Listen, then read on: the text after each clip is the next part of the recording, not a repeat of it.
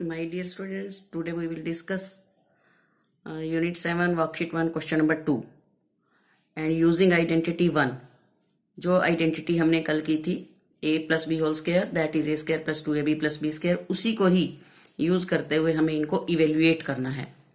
Statement is 101 whole square 101 को हमने a plus B की फॉर्म में लिखना है तभी हमारी आइडेंटिटी लग पाएगी।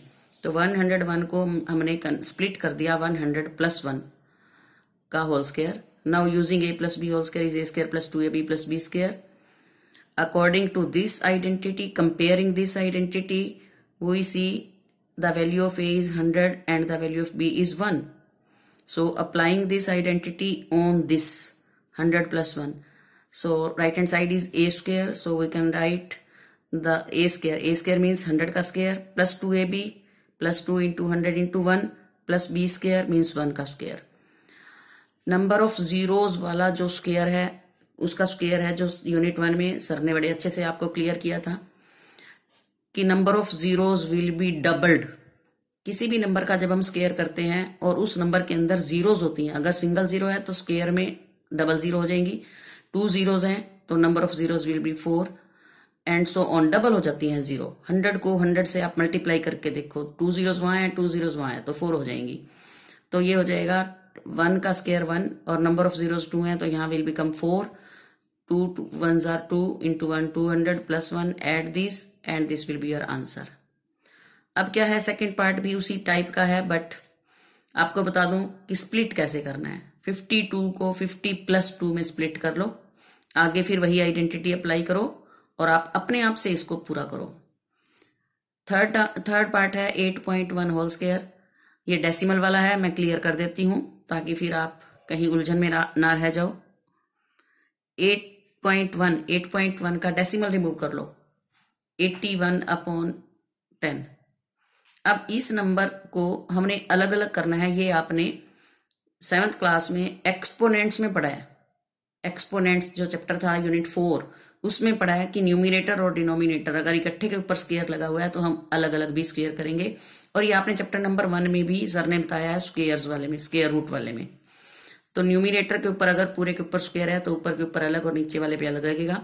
क्योंकि नीचे वाला जो नंबर होगा न्यूमिनेट डिनोमिनेटर डिनोमिनेटर जब भी हम डेसिमल रिमूव करेंगे तो टेन की फॉर्म में होगा।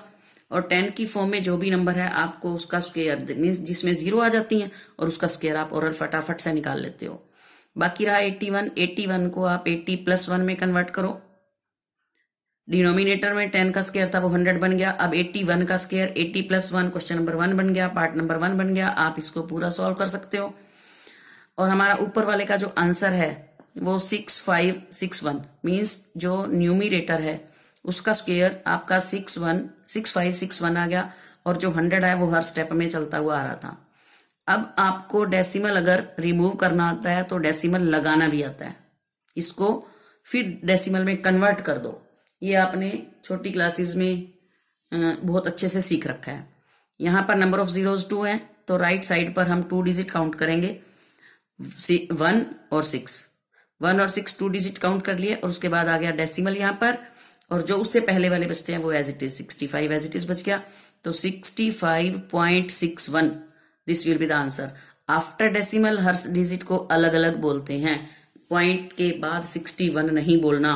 Sixty five point six one this is your answer fourth part two hundred three इसको भी आप स्प्लिट करो टू हंड्रेड प्लस थ्री ये भी आपका क्वेश्चन पार्ट नंबर वन बन गया। अपने आप इसको पूरा करोगे। Four hundred ten four hundred plus ten फिर वही बन गया। आप इसको अपने आप पूरा करोगे। Ten point two This is same as part number 3. However, if there is any doubt, you can consult me, you can discuss with me on my personal number. So try to do this. Thanks. Have a nice day.